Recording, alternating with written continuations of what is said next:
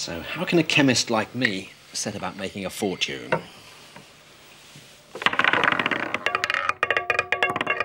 The pharmaceutical industry is one of the most profitable industries that there is. It needs to be because it funds a lot of research and development, and that's risky.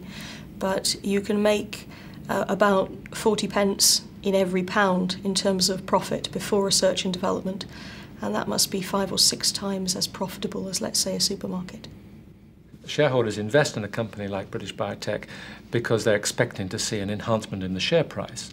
And indeed, if this drug is launched successfully, the share price will, will not just uh, go up by 20%, it'll double, treble, or even quadruple. The drugs industry looks at diseases with a number of key characteristics. One is that they're common, uh, lots of people have them. Um, two is that they're suffered by people in the wealthy industrialized world because they can pay for them. Uh, three, preferably they're recurring. Uh, they come up, they come up again and again, which means that people have to keep returning for a prescription, or even better, be on permanent medication. The drugs industry loves that. Um, you could say that the common cold is extremely common, but you could also say that as people always recover from it, it's not necessary to give treatment. But there are a number of diseases, for example, dementia, um, obesity, the various cancers, where atherosclerosis, all sorts of diseases which are very common and which there's, there's no good treatment, and people die early from them if they don't get treatment. So, those are the areas where we believe uh, the money will be made in the future.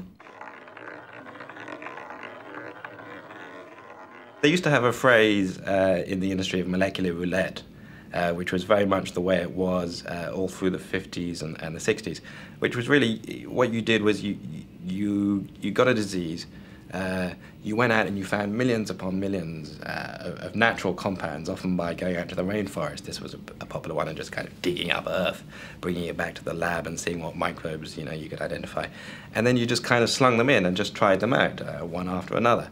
And they used, I think they used to reckon that you'd get an interesting compound about one every 100,000 tries.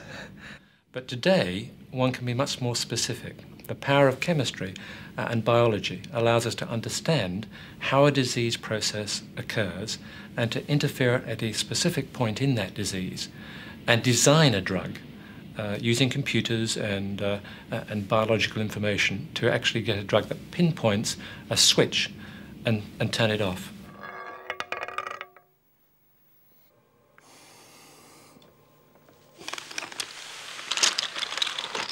This year, we've just reported losses of £21.5 million, which is a very large sum of money. But nearly all of that expenditure has been in investment in research and development of new drugs.